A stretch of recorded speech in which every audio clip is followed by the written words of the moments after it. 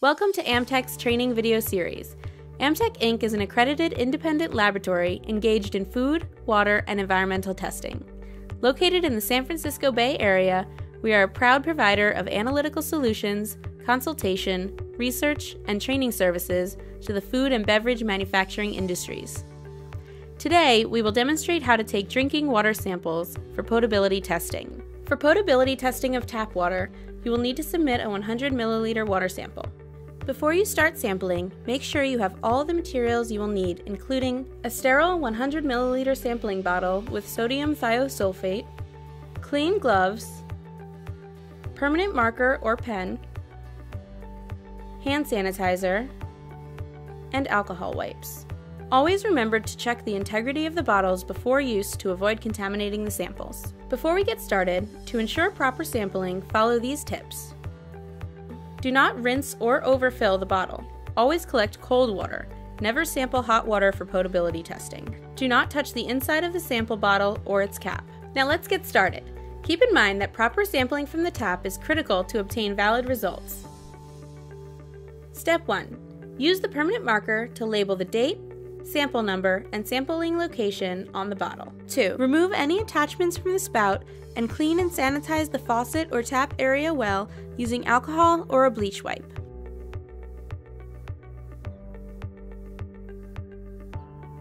Step 3. Wash hands thoroughly with soap and water, dry hands with a paper towel, and apply sanitizer after hands are dry. Wear clean gloves and apply hand sanitizer to the gloves. Step 4. Open the tap fully and allow water to purge at a steady stream for at least 5 minutes. Step 5. Reduce flow to a stream manageable to fill the collection bottle and let water flow for an additional 30 seconds at the reduced flow rate. Step 6. Carefully open the bottles at arm's length. Do not breathe over the open bottle, touch the interior of the cap, or top of the bottle.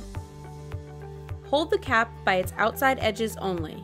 Step 7. Fill the sample bottle. Make sure it is filled to just above the 100 milliliter mark. Cap bottle immediately and tightly. Record the collection time on the sample bottle.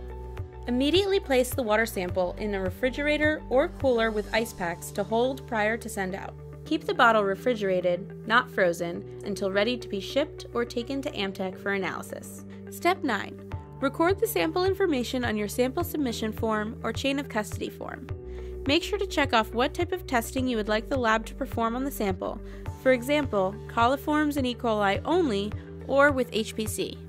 If you need to ship the water sample, use an overnight courier and ship immediately. Pack the sample in a styrofoam cooler with ice packs. Do not use dry ice. Water samples must arrive at the lab for analysis no later than 30 hours after collection time and must be accompanied by a chain of custody form. AEMTEK can test your water samples for compliance with US EPA and CDPH regulations through analyses such as heterotrophic plate count, total coliforms, and E. coli.